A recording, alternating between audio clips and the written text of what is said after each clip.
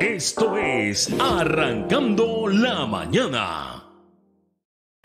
Hola, hola, ¿qué tal? ¿Cómo están? Hoy es viernes, viernes 26 de agosto del 2022. Yo sé que todos ustedes están esperando que yo hable de lo que pasó anoche en la calle Resistencia y en la calle Fortaleza. Y voy a hablar de eso, pero también voy a hablar del senador Gregorio Matías que tengo que hablar del senador Gregorio Matías en esta sección Prohibido Olvidar. Este programa llega a ustedes por una pura energía, que es la que nos mantiene a nosotros todos los días activos, por Fresca Paleta y por Metroplacetas en Carolina y Santurce, el mejor taller de mecánica que hay en la zona metro, Santurce y Carolina. Si usted se quiere anunciar aquí, nos puede llamar al 380-9848. 380-9848. Vamos a darle con las noticias más importantes del día y ahorita vamos con, con este abusador que del senador Gregorio Matías. Y les voy a decir ya mismito por qué. Mire, anoche las cosas terminaron como en Rosario de la Aurora, eso de las 9 de la noche, la policía dispersó la manifestación de Luma Energy, o sea, en contra de Luma Energy, en la calle Fortaleza con granadas de humo, granadas de mano y gas pimienta. Eh, fue desastroso, bochornoso, varias personas resultaron con contusiones y heridas. Agentes del lugar, pues yo creo que se le fue la mano, eso me imagino que lo va a investigar el negociado de investigaciones especiales. Eh, arrestaron también a este único personaje que se llama Tito Kayak, Mire esto, esta es la noticia del nuevo día. Anoche a las 9 de, la noche, la policía dispersó personas que marchaban hasta la fortaleza como parte de la manifestación contra Luma. Eh, es una lástima, es una lástima que estas cosas terminen así. Nosotros somos hermanos boricua, hermanos puertorriqueños, no tenemos por qué estar unos contra otros. Si la policía se mantiene en su lugar y los manifestantes se, se manifiestan de la forma pacífica, como la mayoría lo estaba haciendo, pues mira, tienen derecho. Esa es la primera enmienda de la Constitución, que es la libertad de expresión, libertad de reunión y libertad de asociación. Y estaban en un lugar público y el gobierno eh, no, ¿verdad? No, no, no puede controlar esa manifestación sui generis. Si el gobierno tiene que proteger la propiedad privada.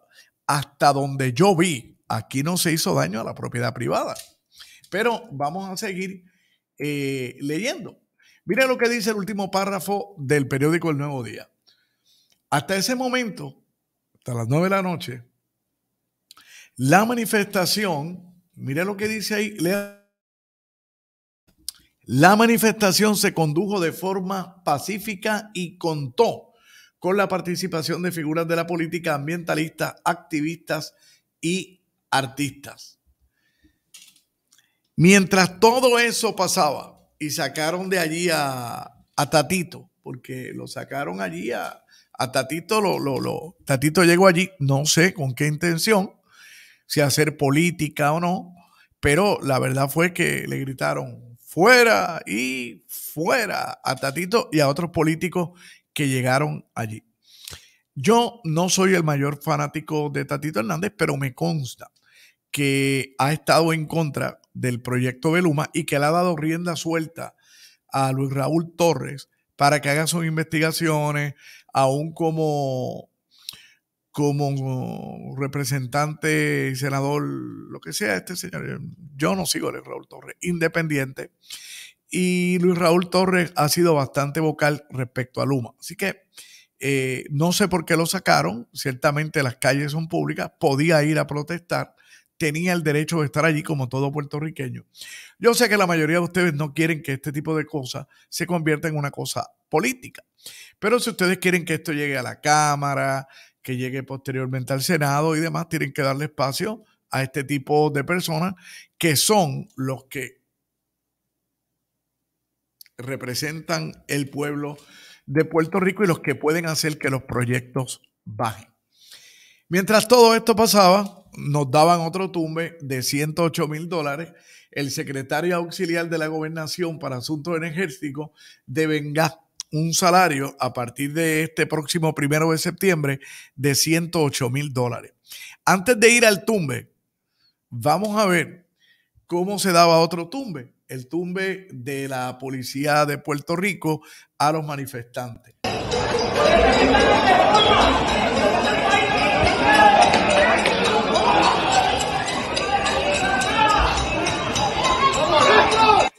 Mire, mire esa agresión.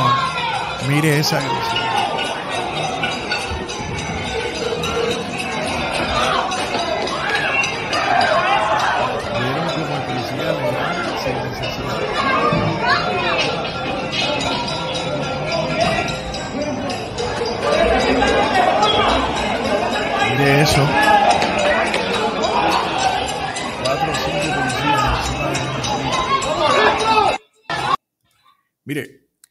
Yo tengo que decir respecto a eso que la policía los pudo arrestar, los pudo arrestar, pero no, seguían arrastrándolo por la calle, seguían de alguna manera, o sea, no lo arrestaban, no le ponían las esposas y seguían como que arrastrando y pegando, o sea, ahí está el video, el video habla por sí solo. Yo creo que esto se debe de investigar eh, ambos lados. Si fue verdad que los manifestantes trataron de pasar la barricada y estos videos de la policía agrediendo fuertemente a manifestantes y periodistas. Creo que dos periodistas eh, resultaron, eh, sí, la tenemos. Me dicen aquí que vamos a tener ahorita la noticia. Bueno, mientras todo eso pasaba, nos daban un tumbe de 108 mil dólares. Otro personaje totalmente innecesario, si Fermín Fontane hubiera hecho el trabajo no hubiera hecho falta esto. Si el gobernador hiciera el trabajo, no hiciera falta esto. Yo me río con este señor que va a ser otro más de los burócratas que van a llegar a este país. Esa no es quita esa de ahí, ponme esa, exacto. Bueno, señores, mire esto. Secretaria auxiliar para la gobernación de asuntos energéticos. Totalmente innecesario. Están votando 108 mil dólares ahí se llama Francisco Berríos Portela y dice que va a comenzar funciones el próximo primero de septiembre, eso va a ser de aquí a cuatro días, y que va él a monitorear y a fiscalizar a este único contrato de Luma con la autoridad de las alianzas público-privadas. Yo me pregunto, pero eso no es lo que tiene que hacer Fermín Fernández. Eso es lo que tiene que hacer Fermín. Entonces dice que él viene a ejecutar estas funciones y mantener el gobernador Urrutia al tanto de las necesidades urgentes que presenta el país en el ámbito energético, que él viene a eso. No me diga que a esta altura del partido el gobernador no está consciente de este daño energético que tiene el país. Si eso es a lo que viene este can blower que está metiendo aquí al gobierno, pues viene a tumbarse los chavos porque el gobernador está consciente. Yo no entiendo esta noticia. Mire, viene a monitorear y fiscalizar. Tiene que decir, viene a poner multa y viene a impartir todas las instrucciones y a dar memorandos con consecuencias a Luma. Tiene que emitir avisos y tiene que darle deadlines a Luma.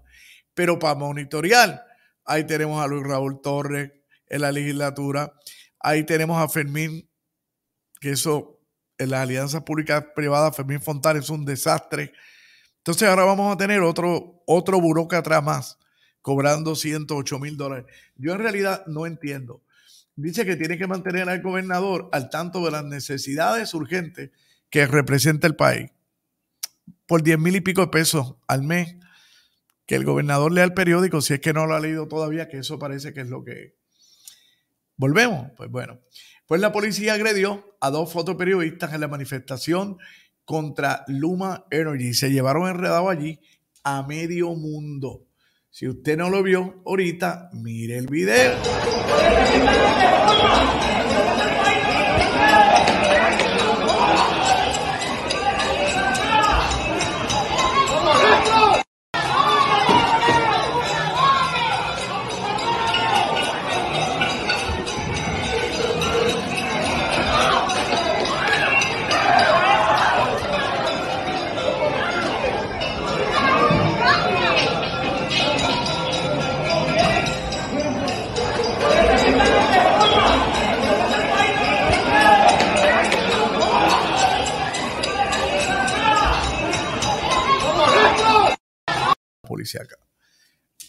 Me pareció así, tengo que decirlo así, que obviamente a todas luces el video es como decimos los abogados, rep ipsa loquitur.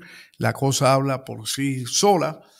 Me parece que está brutal que siga pasando esto en pleno siglo XXI. A pesar de que se identificó en varias ocasiones como prensa, un fotoperiodista del periódico Metro y otro de Noticel recibieron una paliza, golpes eh, de la policía de Puerto Rico anoche en la manifestación. ¡Wow! Mire, no, no, no, no, no quiero terminar ahí, no quiero terminar ahí. Anoche pasó algo en jugando pelota dura, que fue algo que tiene que ver con el senador Gregorio Matías y que me parece que la mayor falta de respeto fue la falta de respeto que hizo el conductor del programa. Aquí en este canal tenemos un video exclusivo que yo hice anoche sobre este atropello de el senador Gregorio Matías contra una periodista que le hizo una pregunta. Si bien ella como que como que no lo dejó contestar la pregunta al principio. A eso hacen todos los periodistas. Y además ese es el estilo de ese programa. A mí me sorprendió mucho la, postura de Ferdinand, que no hubiera votado a este señor de allí y no lo hubiera dicho. Usted es un respetuoso, usted es un maltratante y usted se va de mi canal. Así usted no trata a ninguna persona aquí, sea varón o sea hembra. Aquí, aquí usted no me trata. Vamos a ver ese corte, quiero verlo. Está por aquí, ¿verdad? Pónmelo ahí, pónmelo ahí. Esa petición de, discúlpeme, senador, un poquito tarde esa petición de perdón cuando estamos hablando de fondos públicos, cuando estamos hablando de gente que ha perdido los servicios esenciales. Eh, ¿Por qué una nueva conferencia de prensa debe dar? ¿Qué esperanza y por qué? Lo que sucede con esto es que mucha gente toma actitudes de que no podemos dar oportunidades, de que ya pasó mucho tiempo. Senador, llevábamos, tiempo, lo veo, tiempo. lo veo muy defensivo conmigo. No es con usted. no es con usted. Lo veo muy defensivo conmigo y yo estoy hablando por el pueblo de Puerto Rico. No por el pueblo de Puerto Rico. Yo estoy hablando por el pueblo de Puerto Rico. Usted no está hablando por el pueblo de Puerto Rico. Yo no sé si usted va hablando por el pueblo de Puerto Rico. todo lo que yo digo usted lo desmiente. Es que no es que está hablando por el pueblo de Puerto Rico. Yo hablo por el pueblo que no tiene luz.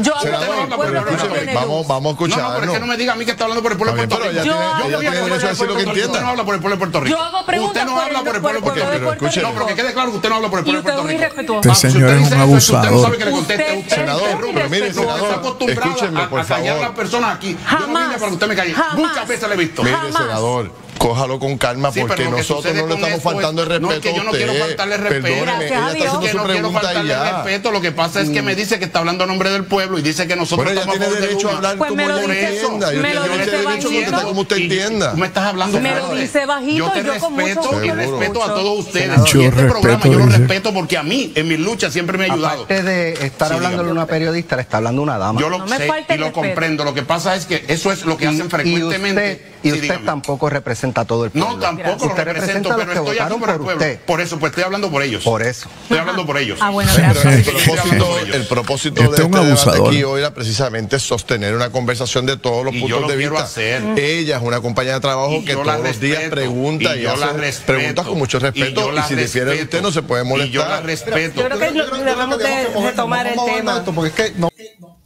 no respeta nada y yo la respeto y yo respeto. No respeta nada. Este señor es un abusador. Es un mequetrefe de pacotilla. Es un poco hombre. Es un maltratante. Y es una persona que tiene un historial nefasto en este país de abusador, de maltratar. Necesita ayuda psicológica y psiquiátrica este señor Gregorio Matías. Y todo el que lo defienda lo necesita. Yo no entiendo cómo Ferdinand no se levantó y le dijo, se me va de aquí ahora mismo y no defendió a la periodista más. La actitud de Ferdinand a mí, a mí me sorprendió malamente. Calmado, no, ella es una compañera. ¿Cómo que es una compañera? Aquí todos los compañeros, tú los respetas o te vas de este, de este programa, debió haber dicho anoche Ferdinand. Pero mire, si usted no me cree que este señor es un maltratante, yo le voy a poner aquí, yo le voy a poner aquí lo que usted tiene que saber. Mire, querellas en el historial del candidato a vacante en el Senado. Esto fue una noticia del periódico El Vocero del 9 de octubre del 2019. 9 de octubre del 2019. Mírelo ahí, el periódico El Vocero. Lo está viendo, ¿verdad? Periódico El Vocero. Mírelo aquí. Ese es el senador Gregorio Matías. Vamos a leer. En el historial del sargento Gregorio Matías, quien aspira a ocupar una de las dos vacantes en el Senado, hay querellas administrativas por incidentes de xenofobia, conducta inmoral, utilización de lenguaje inapropiado en horas laborables, incitar a la violencia y hasta la negligencia. Ese es Gregorio Matías. Eso está en su récord, en su historial. Sin embargo, el comité de evaluación del candidato al PNP certificó a Matías entre los 16 candidatos para ocupar la, vacante del senador por acumulación que dejaron las ex senadoras Margarita Nolasco y Zoela Boy. Mire esto, el vocero tuvo acceso al récord administrativo de Matías, no lo digo yo, lo dice el vocero, quien también es vicepresidente de la asociación, era de Policías de Puerto Rico, la APO, y este evidencia al menos 11 querellas administrativas entre 1996 y 2012.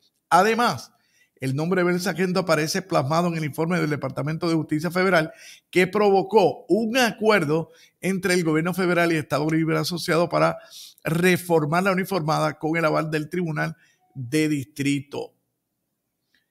Mire eso, en el informe de Justicia Federal con fecha de septiembre de 2011, detalla que Matías supuestamente hizo insultos xenofóbicos sobre los dominicanos en una barra en Río Piedras, en una barra, el 18 de agosto, lo que provocó un incidente violento con el individuo identificado como Ignacio Santos Rosario, sin razón para uso de fuerza letal. De hecho, Justicia Federal concluyó que no había razón legítima para que el sargento, hoy candidato al Senado, en ese momento, acuérdense que esta noticia es del 2019, usara la fuerza letal contra Rosario. Esta acción, según el informe, evidenció un desprecio por la comunidad dominicana en general.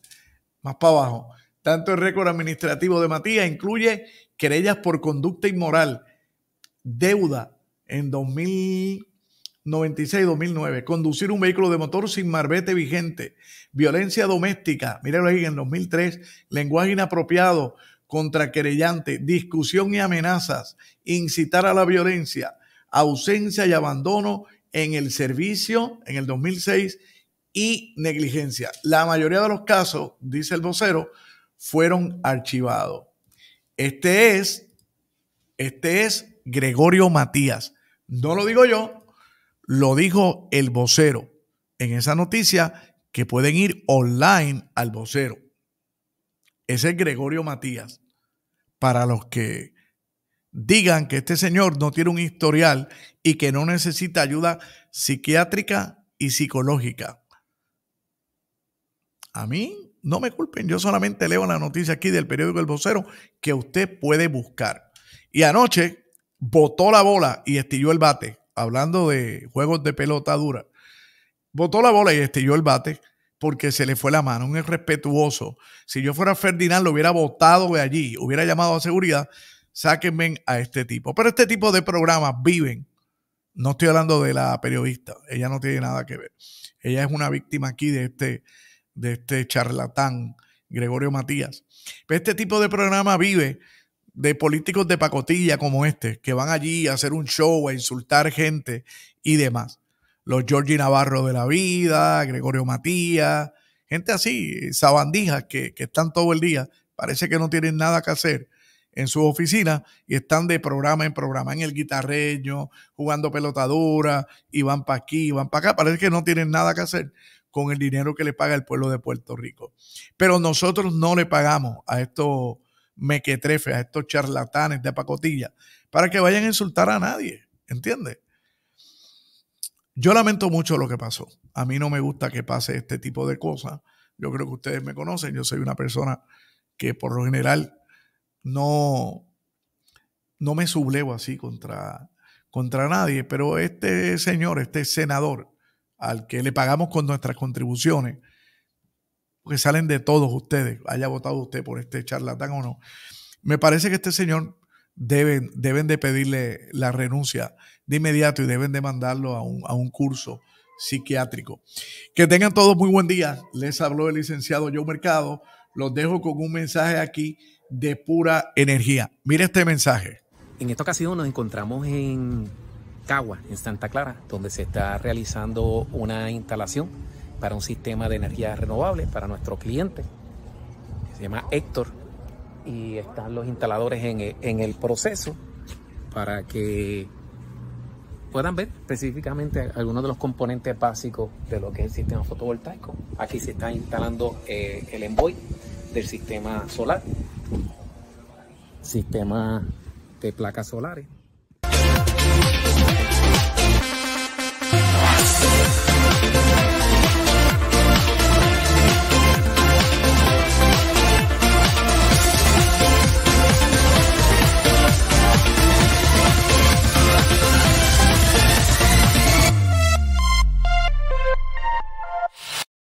Hasta la musiquita está buena. Papara, papá, papara, papá. Sí, para después de este fiasco del senador este, insultando gente, bajarle un poco esa musiquita de pura energía. 668-8686. Llámate a mi amigo Ángel Cardona. Lo voy a tener en este programa prontito. Le voy a hacer una entrevista maravillosa. Lo voy a invitar a mi oficina y voy a hablar con Ángel. Voy a hablar con Ángel y lo vamos a grabar para que usted conozca a Ángel, para que lo conozca de primera mano. Y después mire lo que tengo aquí. Se le dañó el carro y le cobran, le cobran por ahí en todos esos tallercitos por ahí, le cobran por diagnosticarle si se le dañó el aire o su carro. Eso no pasa en Metroplacetas donde te diagnostican tu vehículo de lo que sea completamente gratis. Metroplacetas, Metro Auto Service en Carolina Santurce. Mira qué clase de video.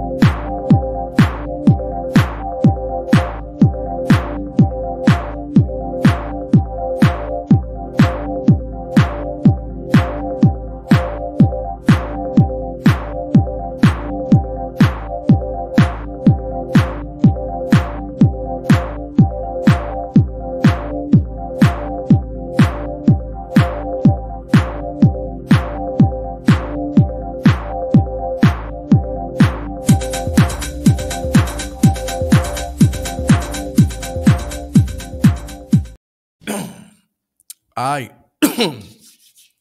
Estaba aquí comiéndome una fresca paleta fuera del aire, aunque ustedes no lo crean por la mañana. Me meto una Coffee Lovers. Tráela. Trae, no quiere traerla, Petro. La, la, la fresca paleta. Tráela. Aquí hay una producción entera bregando aquí con las cámaras y demás. Tráela. Mire, no quiere traer la fresca paleta. Pues vamos a ver a Melanie. Bienvenidos a Fresca Paleta. Mi nombre es Melanie Robles, propietaria. En nuestros establecimientos podrías encontrar más de 65 sabores a escoger y más de 100 sabores si lo combinas con nuestras variedades de topping. Nuestro compromiso es que puedas disfrutar en familia un producto completamente natural y fresco. No utilizamos ningún tipo de preservativos, colorantes, saborizantes ni emulsificantes. Nuestras paletas son más grandes del usual y eso nos permite hacer nuestra gran variedad de paletas rellenas. Tienes que venir a probarla, te esperamos. Pronto en Guaynabo. Pronto, pronto, Fresca Paleta en Guaynabo. Mire esto, si usted está buscando una consulta con nosotros, en nuestra oficina tratamos casos de familia. Esa es la mayoría de la práctica. Divorcios, pensiones alimentarias, asume todo tipo de casos en Asume. Desacato de alimentos, no te están pagando la pensión alimentaria, pues te ayudamos para que te paguen la pensión alimentaria de tus hijos o de tu hijo. O si por el contrario te citaron a una vista por desacato de, alimentos, nos llama y con mucho gusto te ayudamos. ¿Te quieres divorciar? También te ayudamos. Así que eh, relaciones paterno-filiares, no te dejan ver el hijo pues mira, ahí tenemos las relaciones paterno-filiales. Todo tipo de casos de familia. Llama a nuestra oficina al 787 380 9848. 787 380 9848. Te reúnes conmigo. Sí, te reúnes conmigo allí en nuestra oficina. Conversamos sobre tu caso y eh, intentamos buscarle una solución que sea justa, rápida y económica la primera regla de las reglas de procedimiento civil. Que tengan todos muy buen día. Les habló el licenciado Joe Mercadón. Busquen el video de, anoche sobre este abusador de pacotilla, el senador Gregorio Matías. Que tengan todos muy, muy buen día. ¿Le gustó el video? Suscríbase. ¿Le gusta el canal? Suscríbase. Si le gustó el video, dele like. Mira, Gustavo dice, no papi, es like. Mis hijos, que son los que controlan esto aquí, me dicen, no, no, no, es que le dé like al video. Eso mismo, dele like al video. Buen día. Esto es Arrancando la Mañana.